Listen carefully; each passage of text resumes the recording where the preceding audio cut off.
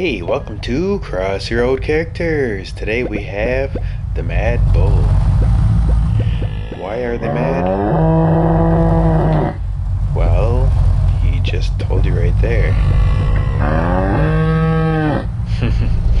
oh, poor guy. Not sure what his problem is, but he apparently is very mad. Looks kinda mad, kinda sad, kinda glad. Kinda hard to read their facial expression there.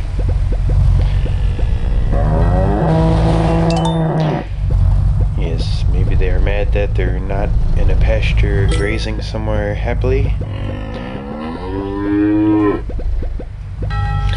Or maybe they're just hungry. We don't know. Do we care? Yes, we do. Let's try to find a nice place.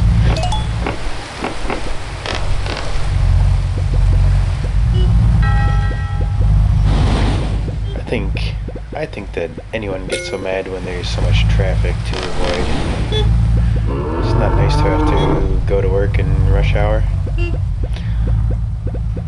So let's get this guy here to a safe place.